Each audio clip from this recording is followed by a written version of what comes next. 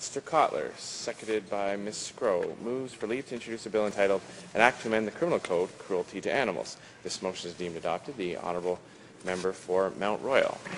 Mr. Speaker, I am pleased to rise and introduce this legislation which amends the criminal code's provisions on animal, animal cruelty. In particular, it creates a new offense of inadequate and negligent care of animals.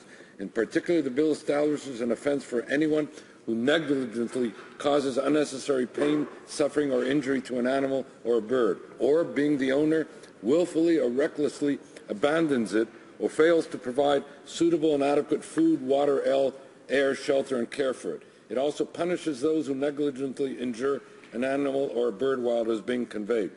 As honourable members know, Canada's animal cruelty laws are woefully out of date, and may have been, not been updated since the 1890s. This bill, in my view, represents an important step towards modernizing the law, though I realize more will be done. Mr. Speaker, given the order of precedence, I realize this bill may not see debate before I leave Parliament.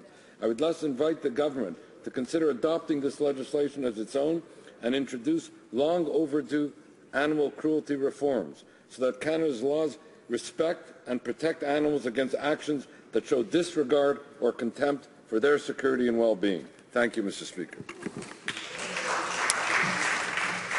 Mr. Cotler, seconded by Ms. Sgro, moves that the bill be now read a first time and be printed. This motion is deemed adopted.